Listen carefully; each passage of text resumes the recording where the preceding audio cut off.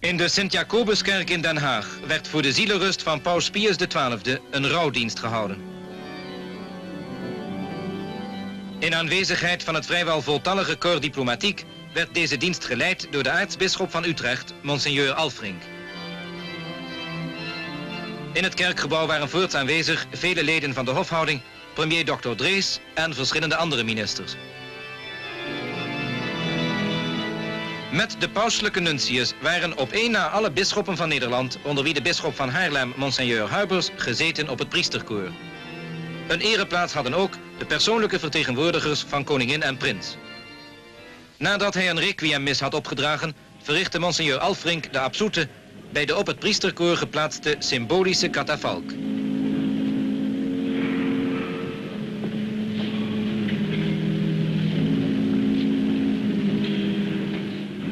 Al dus eindigde een plechtigheid waarin met de katholieke geestelijkheid de hoogsten in den lande de nagedachtenis eerden van paus Pius XII.